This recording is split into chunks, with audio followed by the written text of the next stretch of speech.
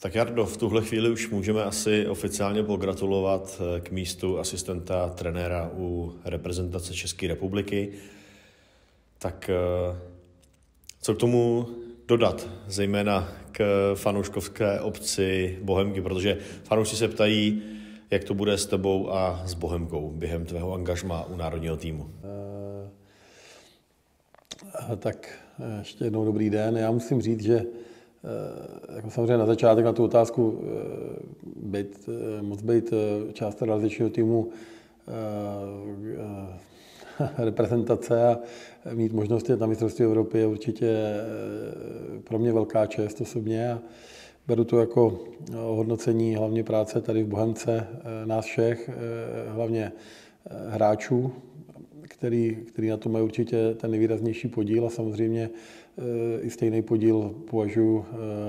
mýho realizačního týmu, který na to má taky ohromnej, ohromnou zásluhu. A co se týká toho, jak to ovlivní eh, nebo neovlivní práci v Bohemce, eh, já doufám, že to neovlivní vůbec, protože když se budeme bavit o tomhle půl roku, tak eh, v podstatě tady budu nepřítomný jenom jeden sraz v březnu. To se bavíme o nějakých 7-8 dnech v době, kdy je reprepauza, v tom, hlavně v tom týdnu vlastně jednom, který je bez zápasu. A věřím, že natolik máme dobrý realizační tým, že to v pořádku zvládnou. Samozřejmě budeme i v kontaktu a e, ta druhá akce, která je vlastně, kde vyžadovaná moje přítomnost, je kemp před eurem, který už je v době, kdy skončí liga, kdy máme volno, a pak samotný vlastně euro. Tam je jediná vlastně kolize, kdy samozřejmě bude záležet podle umístění, bylo by fajn, aby to bylo co nejdíl, ale v tuhle chvíli to třeba vypadá, že bych chyběl na začátku přípravy, budeme se bavit nějakých sedm, třeba deset dní a pak samozřejmě podle, podle, podle výsledků. Takže tam bych si samozřejmě přál, aby to bylo co nejdíl, ale v tuhle chvíli to je jediný jasný a na to už máme taky samozřejmě nějakou představu, jak bychom tohle řešili a já e, jsem chtěl a vlastně to byla i moje jedna z podmínek, že jsem vlastně nechtěl žádnou dlouhodobou smlouvu, chtěl jsem na půl roku a protože sám eh, osobně eh, nevím úplně, co od toho čekat a chci si to vyhodnotit hlavně já sám, a abych věděl, jestli to je takhle možný zvládat. Potom po skončení toho eura samozřejmě chci dát možnosti asociaci, aby eh, se mohla taky rozhodnout, jestli se mnou chce taky dál spolupracovat a, abychom si, a hlavně Bohemka. A chci, abychom si to takhle vlastně všichni vyhodnotili a pokud uh, uvidíme, že to je funkční a ty strany budou mít zájem dál uh, na spolupráci a já sám mm, si vyhodnotím hlavně, jestli, jestli to takhle jako je, je, v, je v pořádku a dá se to, a jestli tím netrpí hlavně Bohemka, tak, eh, tak pak se můžeme bavit dál. A v tuhle chvíli to beru jako na tenhle půl rok. Věřím, že to takhle jsem schopný zvládnout, že za prvý tady máme dobrý realizační tým a u toho národního týmu taky vím, že je široký a kvalitní realizační tým, takže věřím tomu, že jsme si schopni ty role rozdělit a že jsem schopný to prostě oddělit. V tuhle chvíli ale mě nezajímá nic jiného než Bohemka a Bohemka je prostě pro mě vždycky na prvním místě z tohohle hlediska. Jo, samozřejmě, když eh, v těch, v těch momentech, kdy odjedu na národák, tak je logicky, že zase budu pracovat eh, v těch srazech na, eh, na 100% pro pro asociaci, ale v těchto obdobích, o kterých jsem mluvil, si myslím, že to je, je to možné skloubit a je to možné vlastně nějakým způsobem eh, zvládnout. A kdo s tím samozřejmě nejvíc bude trpět, bude moje rodina, tak která vlastně jako určitě z toho není nadšená, která s tím má možná největší problém. Takže i, i to je další důvod, že chci poděkovat, že vlastně mi to umožnili i doma a že, že vlastně takhle můžeme, můžeme, můžu, můžu to jít zkusit a samozřejmě jak, jak hráči, tak trenéři mají svý sny a, a jak říkám, považuji to za, za velkou čest jet, mít možnost jet na, jet na mistrovství Evropy a věřím, že, že tam dokážeme eh, i uspět. Je tedy pravda, že to půlroční angažmá bylo více do tvoje přání než, než přání asociace s tím, že v létě teda se rozhodne, jestli se dá takhle fungovat. Protože někteří fanoušci se obávají nebo, nebo píšou, že vlastně jakoby sedíš, když to řeknu lidově, jedním zadkem na dvou židlích no. a že to nemusí být lehký zvládnout. Jo, rozumím tomu. A bylo to moje přání od začátku, když jsme začali vlastně jednat s Ivanem a vlastně ne, oslovil mě s tou nabídkou, tak když jsem nad tím jako mm, přemýšlel, tak vlastně e, jsem chtěl ten půl rok, často to v těch začátcích angažmá dělám vlastně v Bohem, jsem takhle měl, že jsem chtěl jít smlouvu na půl roku a já úplně nestojím o to, abych někde se držel za každou cenu, jenom že mám smlouvu, takže eh, samozřejmě eh, ten zbylý realizační tým tuším má smlouvu na dva a půl roku, nebo, nebo v podstatě s nějakou obcí do mistrovství světa a mě to jako netrápí, takže říkám, já pokud někde nejsem rád, nebo, nebo tam se mnou není spokojenost, nebo obou stranách, tak se tam nepotřebuji držet za každou cenu, takže já to takhle jako mám a, a nastavený a, jak říkám, budu se opakovat, pro mě jsou strašně důležitý, důležitá bohemka, naši fanoušci a já bych, já bych chtěl vlastně, aby, aby, aby to bohemka ne, nějakou, nějakým způsobem nepoznala. A naopak bych byl rád, kdybych třeba samozřejmě eh, i některé ty věci, které tam třeba budeme aplikovat, se týká i nějakých analýz, eh, tak já věřím, že třeba jsou nějaké věci, které můžu zase já přivíst eh, sem a tím zase ty bohemce jako pomoc vzájemně a zase při doufám, že i já tam jsem proto, abych já zase přinesl něco reprezentaci, takže to může být takový vzájemný, eh, zase dobrá zkušenost pro mě, jako pro trenéra i pro člověka. A věřím tomu, že to vlastně zhodnotí ve finále i ta Bohemka, že to pro ní může být eh, jako i taky vlastně jako nějakým způsobem užitečný. A samozřejmě, jak to vnímáme v klubu, tak eh, jako i Bohemka to samozřejmě bere jako, jako nějakou jako ocenění klubu a ocenění práce. Je to jako, jako vždycky říkám hráčům, pokud se funguje dobře, tak to vynese třeba hráče, teďka to vyneslo by mě jako trenéra, ale já jak, budu se opakovat, beru to jako e, nějakým způsobem, nějakou vizitku naší práce celkově. A, ale jak říkám, teď, v tuhle chvíli myslím na start jara, myslím na Bohemku a pak si to hlavě zase přehodím a, a budu, vždycky, budu vždycky eh, myslet na to, co bude aktuální. Dá se říct, že tedy budete mít s Jardou Kestlem rozdělený eh, ty pracovní povinnosti způsobem, že on bude ten, kdo bude v té běžné sezóně objíždět eh, to zahraničí, bavit se s těma hráčema a ty budeš potom spíš teda do toho tréninkového procesu, řekněme do těch kempů nebo do těch přípravných zápasů? No tak určitě bude větší, eh, větší těžiště, hlavně v, tomhle, co říkáš asi na Ivanovi, který bude mluvit s těm hráčem a samozřejmě Jarda v tom taky funguje.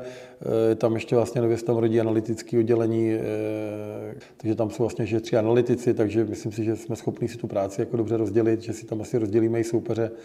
co kdo budeme případně sledovat a tím, že se chystáte vlastně na jeden zápas, tak to není až tak dramatický. Eh, já si myslím, že větší, větší eh, důraz bude na to sledovat jednotlivý hráče,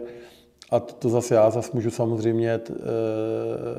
pomoci naší ligou, kterou zase sleduju týden co týden. Takže samozřejmě určitě, pokud dělám nějaké přípravy na naše zápasy, tak určitě uvidím zase i ty hráče, o kterým nám půjde, co se týká naší ligy. Takže e, je jasný, že já v té běžné sezóně se nemůžu sebrat a nemůžu, nemůžu odjet e, někde do zahraničí, respektive možná třeba v neděli, kdyby nějaký den byl, ale myslím si, že v tuhle chvíli už teďka vlastně kluci byli v Německu a že tohle si je schopný Ivan s Keslikem v tuhle chvíli obstarat. A já samozřejmě mm, pomůžu spíš si myslím v těch, v těch tréninkových věcech, v nějakých taktických, v nějakých, v nějakých analýzách a tak. Takže, jak říkám, myslím si, že ten realizační tým je dostatečně široký na to, aby to šlo jako zvládnout. Všichni si asi přejeme, nebo každý, kdo fandí eh, národňáku, tak si asi přeje, aby v létě ta cesta na euro byla co nejdelší. Tím pádem by se prodlužovala i, řekněme, tvoje absence na začátku přípravy tady v Bohemce. Je pro tenhle scénář eh, připravena nějaká varianta třeba částečného rozšíření toho realizačního týmu po dobu eh, může, toho může, ano, ano, je to jedna z variant, která tam, kterou tam máme jako někde v hlavě, že nad tímhle přemýšlíme. Je to logický, že, že by takového něco tam samozřejmě jako nastalo. Eh, jak říkám, prodiskutovali jsme veškeré ty možnosti, které jsou, takže myslím si, že máme jako docela jasnou představu, jak to případně v létě řešit. Ať už, ať už tak, když přijedu brzo, a nebo když, když přijedu pozdě, ale i kdybych přijel pozdě, tak pořád stihnu určitě pro ně mistrovské utkání a myslím si, jak říkám, že kdybych přijel pozdě, tak určitě člověk nepřijede psychicky zdeptaný, ale spíš přijede nabitý a v euforii, takže, takže věřím, že by se to přeneslo i do Bohemky. A myslím si, že tím, že s tím týmem už tady vlastně pracuji eh, přes dva roky a tak, eh, tak eh, zase si myslím, že ta třeba týdenní absence ve finále eh, nebude tak, nebude tak eh, těžko zvládnutelná, že přece jenom ty hráče znám a, určitě budu ve spojení s realizákem a budu vidět, eh, budu mít jasné informace i, i samozřejmě třeba z, z toho tréninkového, z té tréninkové přípravy a zase většinou v tom prvním týdnu té přípravy se běhají objemově, úplně se tam nedělají taktické věci, takže se tam dělá spíš taková ta kondice, kterou říkám, máme rozdělený, kterou vedou i kluci často, takže myslím si, že to kromě mý neúčasti nějakým způsobem ten tým neovlivní a možná si budeme na chvilku rádi oddechnout. Dáváš trošku takzvaně hlavu na špalek, protože pokud se Bohemce v jarní části nebude dařit, tak se určitě ozvou hlasy, že to je tím, že máš roztroušenou pozornost mezi v uvozovkách dva manšafty. Seš na tohle připravený? Jo, tak počítáme s tím, počítám s tím, že to takhle jako může být, ale bych byl rád, aby to s tím bylo spojovaný. Ehm, prostě teďka jsem to tady řekl, jako, myslím si, že je pochopitelný, co nás jako čeká, tak je jasný, že pokud by tady to bylo, nedařilo se nám, tak eh, ta kritika samozřejmě bude, bude oprávněná. Nemyslím si, že by to mělo souviset s, s touhle mojí nějakou rozšířenou pozorností. Něco jiného by bylo, kdybych eh, se tady pokoušel o nějakou kumulaci dvou hlavních trenérů, to si myslím, že je nesmysl a, anebo být tu třeba u dvou týmů nebo něco takového. Jak říkám, myslím si, že je, je, je zvládnutelný i mentálně to, jestli jsou tady dvě přípravné utkání a jeden týdenní kemp a pak samotný, samotný turnaj, tak to si nemyslím, že ten půl rok je z toho hlediska nezvládnutelný. Já říkám, já bych si strašně rád přál, aby se nám e, dařilo na s Bohemkou a a potažmo pak tomu národnímu týmu. Ale teď, v tuhle chvíli, já, já hlavně přemýšlím nad tímhle a samozřejmě nějakým způsobem se snažím si to rozdělovat i a v takových těch dnech, kdy, kdy třeba teďka řeknu v neděli, tak jsem se věnoval třeba v tom dní svého volna, potom co jsem si všechny povinnosti vůči Bohemce, ať už, ať už nějaký plánování a nějaké věci, co chystám pro hráče, tak jsem se pak zase věnoval třeba řeknu celý odpoledne eh, tomu nějaké přípravě na ten, na ten, eh, na ten národní tým, to co, to, co chci třeba ukázat na meetingu, eh, nějakou mini analýzu, co jsem si tam vytvářel a a teďka už zase jedu od pondělka na, na, na,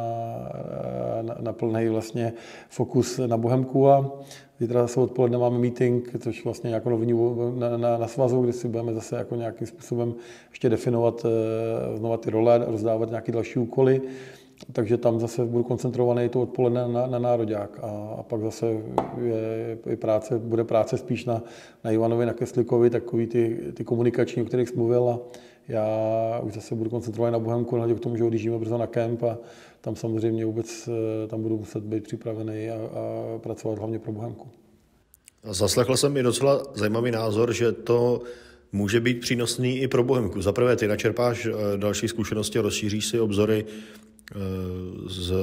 řekněme, sféry, kam se jen tak nějaký trenér nepodívá. A na druhou stranu, třeba i pro hráče, kteří se často rozhodují, jsou takzvaně sou-sou, může být markantem, že v Bohemce je reprezentační trenér nebo člen reprezentačního realizačního týmu. Vnímáš třeba i tyhle pozitiva pro Bohemku? Tak to mě nenapadlo, ale samozřejmě pokud by to rozhodlo, že, že některý hráč dá třeba přednost radši nám, tak, tak budu jistě rád a určitě s tím asi úplně nebudu operovat, když budu ty hráči přemlouvat. Já jsem to říkal hráčům vlastně v pon... když jsme, když jsme vlastně začínali na tom úvodním tréninku, ještě jsem jim poděkoval vlastně, že to beru, že jak se to mluvilo, i naše společné ocenění a že bych byl rád, pokud bych tam ne, ne, nejel sám z tohohle týmu, že to by bylo úplně největší odměna. Pokud by tam ještě třeba někdo se vešel z tohohle týmu, tak to, to, to, to, to, by, to by znamenalo, že jsme měli úspěšný jaro a že to je všechno v pořádku. Takže to by, to by bylo úplně nejlepší. Samozřejmě asi těžko pojede Erik Prekop nebo Milan Ristovský, ale, ale ten zbytek eh, má šanci.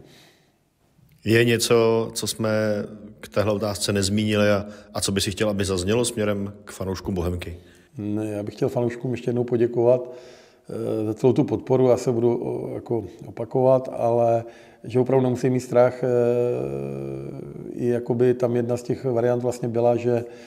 jestli nechci jít na plný úvazek a vlastně Bohemku opustit. To byla vlastně jedna z těch prvních nabídek a tu jsem prostě okamžitě zavrch. Jako to prostě, byť třeba s tím Ivanem nás spojí, ať už přátelství lidský, tak i profesní. Eh, jsme spolu několik let vlastně spolupracovali úspěšně a tak i tak eh, se to prostě nemůžu představit v tuhle chvíli, že cítím, že tady máme ještě rozdělanou práci a ještě pořád jako věřím, že jsme tady neřekli poslední slovo a ještě pořád věřím, že Eh,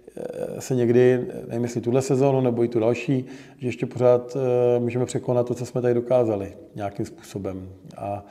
kdybych cítil, že už tady ta moje práce vlastně, že už tomu nemám tady co dát a, a že už ten tým nemá kam se posouvat, tak, tak bych třeba možná i, i, i třeba o tom uvažoval, ale pokud to tak zatím není a pokud klub má se mnou chuť spolupracovat, a, tak, tak věřím, že, Eh, že to bude takhle, jako, jako to mluvím, takže jenom bych chtěl ještě jednou říct, ať nemáte strach, že bych kašlal na Bohemku a, a, a, a někdy bral na vedlejší kolej, tak to nikdy nebude a já už dneska říkám, že mám Bohemku navždy v srdci.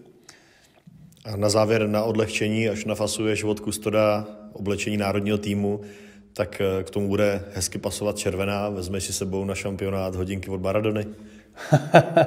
no, možná bych mohl eh, z nějaké pověrčivosti, čím se mi v nich dařilo, tak eh, bude, no. je, to, je, to, je to to, anebo, anebo si po to vezmu bohemácký věci. tak jo, děkuju a mějte se hezky. Ahoj, čau.